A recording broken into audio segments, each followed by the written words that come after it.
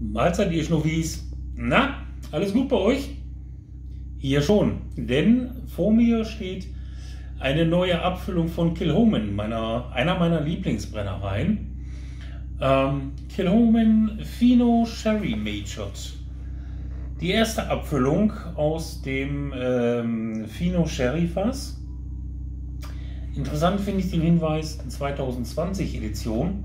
Keine Ahnung, ob es äh, ein Anzeichen dafür ist, dass weitere Folgen werden. Aber warum nicht? Fino Sherry, ähm, neben PX und Oloroso, Amontillado hört man auch schon mal ab und zu.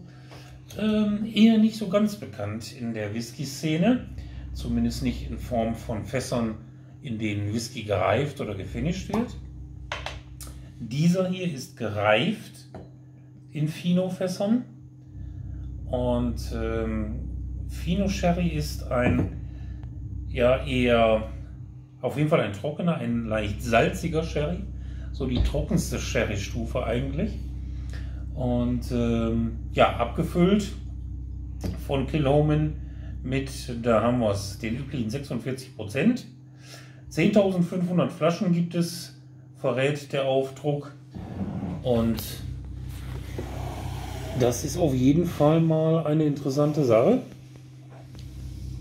Wie gesagt, ich mag Kilhoman sehr gerne und äh, bin echt gespannt nach dem ähm, Genesis, den wir unlängst verkosten durften, nach einem äh, Calvados Cask, das ich mir, äh, wovon ich mir eine Flasche privat aus Österreich besorgt habe Jetzt schon wieder was Neues, also die verwöhnen mich im Moment ganz gut.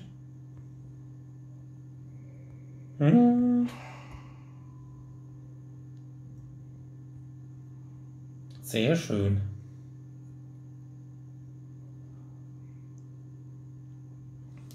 Typischer Kilchomenrauch. Ich habe auch diese leichte Zitrusfrische, die besonders bei Machia Bay auffällt. Dazu dann aber noch weitere Fruchtnoten, geht so ein bisschen ins, ins Apfelige. Und irgendwie so einen leicht maritimen Touch hat es noch.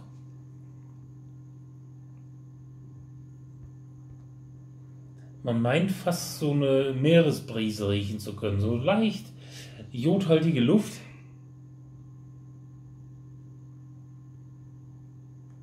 Die dann aber wieder eingefangen wird von, von süßlichen Noten.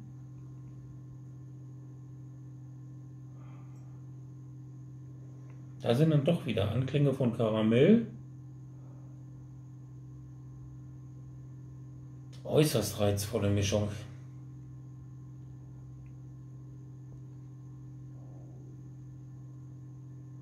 Kriegt noch so ein bisschen Tiefgang jetzt, so, wo er anfängt sich zu öffnen.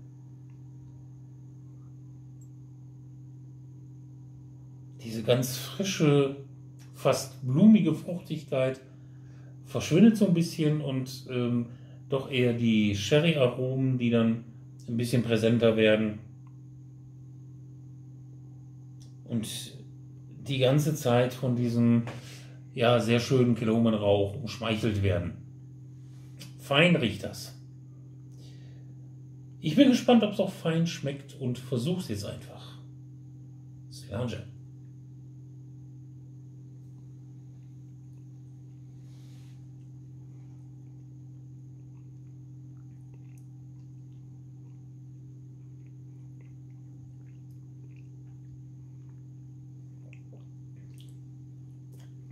Das ist Kilhoman. Das ist rauchig, kräftig rauchig, schön aschig. Das ist aber auch dezent süß. Das wird hinten raus trocken. Das hat eine leicht maritime Note. Und zwischendurch blitzen auch die Früchte auf. Zitrus nur ganz, ganz sparsam.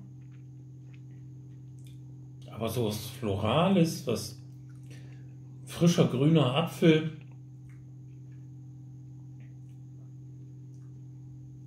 Sehr lecker.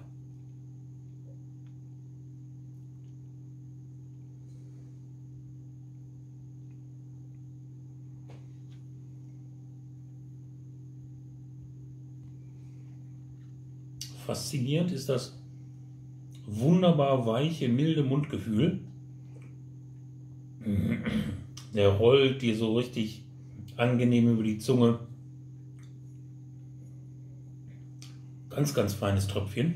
Und so beim zweiten Schluck fängt es an, dass der Rauch noch ein bisschen präsenter wird.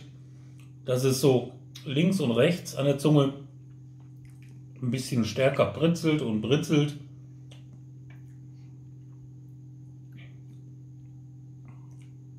Diese trockene Süße wird noch ein bisschen deutlicher. Ist sehr schön ausbalanciert zwischen diesen äh, Raucharomen, zwischen dem richtig, richtig schweren Torf, zwischen der Süße. Passt sehr gut.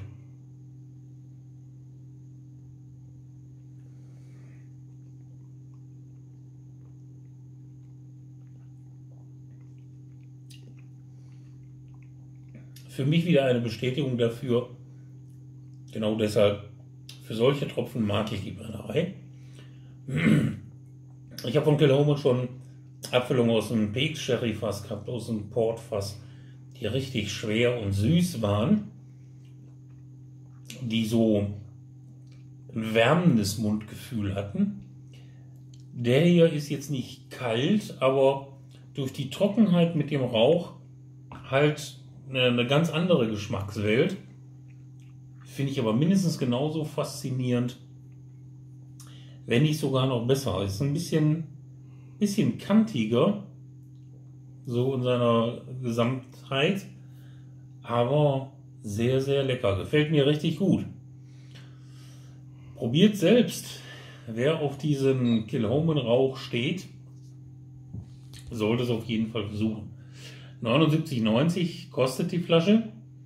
Liegt damit so knapp über dem Loch Gorm. Ähm, ich würde ihn auf jeden Fall vorziehen. Diese Trockenheit zusammen mit, dem, mit der schweren Torfnote gefällt mir richtig, richtig gut. Wenn ihr ihn bestellt, viel Spaß damit.